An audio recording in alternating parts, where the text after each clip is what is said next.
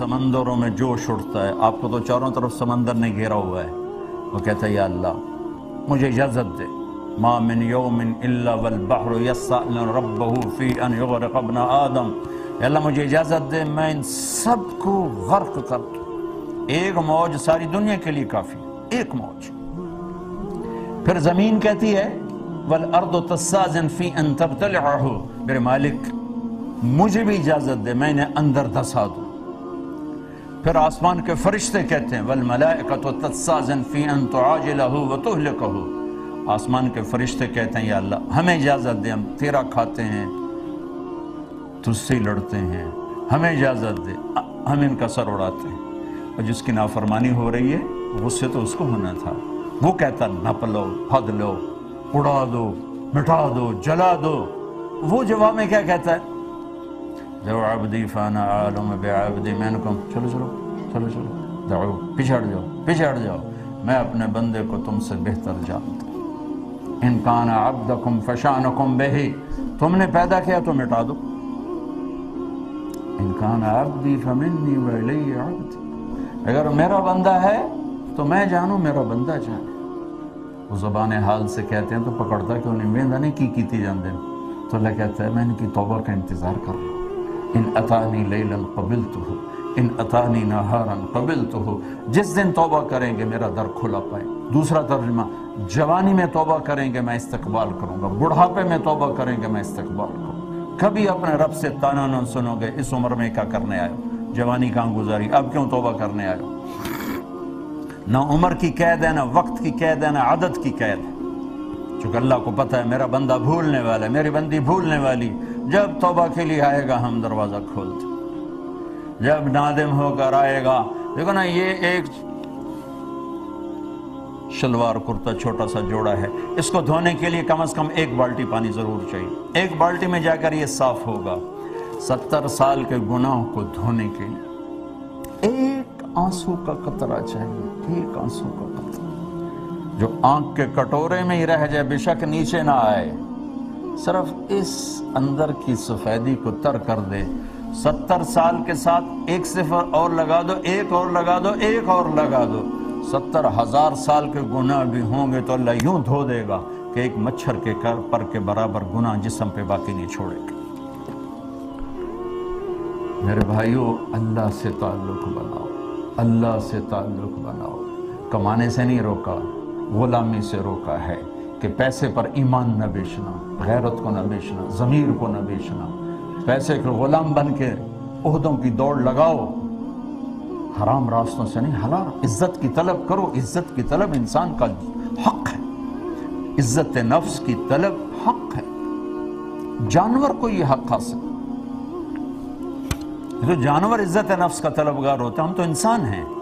لیکن اس کے لیے انسانیت سے باہر چلے۔ ہم چھوٹے چھوٹے تھے، ہمارے والد صاحب گھوڑے رکھتے تھے، بڑے خوبصورت قیمتی۔ تو ایک سفید گھوڑا تھا نکرا بڑا خوبصورت، بڑی چال چلتا تھا۔ اس کو کوئی چھانٹا مار دیتا تھا وہ کھڑا ہو جاتا تھا غصے۔ تو یہ میں نے سنا ہوا تھا، لیکن ایک دن خود میرے ساتھ ہوا، میں اور میرا بھائی چھوٹے چھوٹے، ہم، ہمارا کوشوان ہمیں کہیں لے جا رہا تھا۔ اتنا تو یاد نہیں کہاں لے جا رہا تھا، لیکن ہم دونوں ہی بھائی تھے اور ٹانگا ہوتا تھا۔ تو اس نے چھانٹا مار دیا، تو گھوڑا یوں کھڑا ہو۔ تو اس نے بتھیری لگامیں کھینچی، نہیں چلا۔ پھر ہوتا تھا دو چار بندے بلا کے نا پہیے کو گھماتے تھے، تو اسے گھوڑے کو دھکا لگتا۔ انہوں نے پہیا گھمایا، وہ اور کھڑا ہو گیا۔ جب سارے جتن ختم ہو گئے، تو یہ میں آنکھوں دیکھا بتا رہا ہوں اللہ کی قسم۔ اس نے پگڑی اتاری اور اس کے پاؤں میں رکھی اور کہنے لگا ہونتا ٹور پاؤ پگڑی اس نے، سر پہ رکھی آ کے لگام اٹھائی، گھوڑا چل پڑا۔ یہ میں نے اپنی آنکھوں سے دیکھا۔ تو عزت کی طلب حرام نہیں ہے۔ عزت کی طلب میں ایمان بیچ دینا، ضمیر بیچ دینا، آخرت کو آگ لگا دینا، اللہ کو ناراض کر دینا، اللہ کے نبی کو ناراض کر دینا۔ کب تک کہاں تک یہ جھنڈے لگیں گے؟ جاؤ جھنڈے والوں کی قبریں دیکھو، کوئی فاتحہ پڑھنے والا کوئی نہیں ہے۔ بڑے کریم رب سے معاملہ ہے۔ ہم ضرورت سے زیادہ کوئی دور ہو گئے ہیں، یہ ہمیں اپنے رب کا پتہ نہیں کو ہے کتنا مہربان، ہے کتنا کریم، ہے کتنا کرم کرنے والا، کتنا قدردان ہے۔ کس قدر وہ نیکی کو وزن دیتا ہے۔ اور آپ دیکھو نا، کتنے فرشتے اللہ نے پیدا کیے جبریل سب سے بڑا فرشتہ، اس سے تو نہیں کہا میں تم سے پیار کرتا ہوں۔ جو ہر وقت اللہ کی خدمت میں کھڑا اور جن فرشتوں نے خربوں سال سے سجدے میں سر رکھا ہوا ہے، ان سے تو اللہ نے نہیں کہا میں تم سے پیار کرتا ہوں۔ شرابی سے کہہ رہا ہے، تم سے پیار کرتا ہوں۔ عزت کو بیچنے والی سے کہہ رہا ہے، تم سے پیار کرتا ہوں۔ تو توبہ کر، میں تم سے پیار کرتا ہوں۔ میری رحمت میں آ جا میرے بھائیو، اللہ سے صلح کر۔ لو اللہ سے صلح کر۔ لو جہاں بھی رہو، اللہ سے صلح کر کے رہو۔ کچھ نہیں چاہیے۔ کیونکہ یہ بہت تھوڑی زندگی ہے، بہت تھوڑی زندگی ہے۔ چند صبح ہیں، چند شامیں ہیں، کچھ بیت گئیں، کچھ باقی ہیں۔ تو ایسی موت نہ مرو کہ اللہ کی بارگاہ میں مجرم بن کے کھڑے ہو۔ ایسی موت مرو کہ اللہ کہ واہ واہ، میرا بندہ آ گیا، میری بندی آ گئی۔ آؤ آؤ، انتظار تھا۔ سعد بن معاذ فوت ہوئے۔ تو میرے نبی نے کہا، آج اللہ کا عرش جھوم رہا ہے سعد کی موت پر۔ کیونکہ انہوں نے تو اوپر جانا ہے نا، اوپر تو خوش ہوتے۔ تو میرے نبی نے کہا، آج اللہ کا عرش وجد میں آ گیا ہے، رقص میں آ گیا ہے سعد کی روح کی پیشی پر۔ اور اللہ نے اپنی رضا کو جوڑا ہے محمد رسول اللہ صلی اللہ تعالی وسلم کی زندگی کے ساتھ۔ اللہ نے ایک حبیب بنایا، وہ محمد الرسول اللہ ہے۔ اللہ نے ایک کو اپنا حبیب چنا وہ محمد الرسول اللہ ہے۔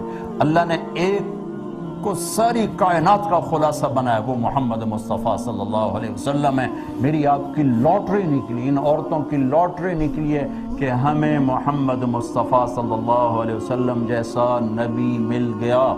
اللہ کے ننانوے ناموں میں ایک نام ہے غضب والا، المنتقم۔ باقی سب رحمت ہی رحمت ہے۔ رحم یا اللہ کی قدرت، کبریائی، بڑائی، شہنشاہی، ایک نام ہے المنتقم، جس میں اللہ کے غصے کا اور اللہ کی پکڑ کا معنی ملتا ہے۔ لیکن اس کو بھی اگلے دو ناموں کے ساتھ پانی ڈال کے لسی بنا دیا کہ المنتقم العفو الرعوف آئے ہائے المنتقم، ایک دم سارا وجود کانپا تو اللہ نے کہا گھبراؤ نہیں مہربان بھی ہوں، معاف بھی کرتا ہوں۔ ڈرو نہیں لیکن ایک بات ہے، توبہ کرنی پڑے۔ تم کو توبہ بھی نہ کریں اور کام بھی ہو جائے، تو پھر حسین اور یزید کو برابر کرنے والا معاملہ نہ کرو، ورنہ ساری کربلاؤں کی تاریخ کو آگ لگا دو۔ اگر شمر اور حسین نے ایک ہی کرسی پر بیٹھنا ہے، تو سر کٹانے والے پاگل تھے، دیوانے تھے۔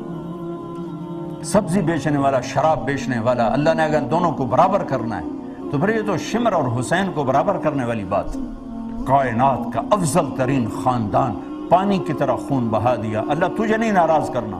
اولاد کو ذبح کروا دوں۔ میرے بچے کا ہاتھ ٹوٹا، وہ رو رہا تھا، مجھ سے دیکھا نہ گیا، میں باہر نکل گیا۔ جس کے سامنے بچوں کی گردنیں کٹ رہی ہوں اور وہ صبر کی تصویر ہو۔ ہے کوئی تاریخ ایسی مثال پیش کر سکے؟ ایک ایک بچے کو ذبح کرا تھے بھتیجے بچے، بھائی۔ ام نجعل المتقین کالفجار۔ یہ بھی تو مجھے نہ کہو نا کہ ساری زندگی شراب پی اور کہو کہ اللہ بڑا غفور الرحیم اور ایک ساری زندگی میرے سامنے سر جھکا کے روئے اور میں تمہیں اور اسے برابر کر دوں، یہ بھی میرا قانون نہیں ہے۔ پھر تو حسین کی قربانیاں ختم۔ آل رسول کی قربانیاں ختم۔ لہذا میرے بھائیو معاملہ کوئی اتنا سنگین نہیں ہے۔ توبہ کر کے اللہ کے نبی کے پیچھے چل پڑیں جہاں ٹھوکر لگے پھر توبہ کر لیں۔ جہاں ٹھوکر لگے پھر توبہ کر لیں۔ میرے نبی نے کہا، دن میں ستر دفعہ گناہ کرو۔ اور ستر دفعہ توبہ کرو تو اللہ کے محبوب ہو گناہ گار نہیں ہو۔ اور کیا بتاؤں؟ الفاظ پڑھ کے سنا دیتا ہوں۔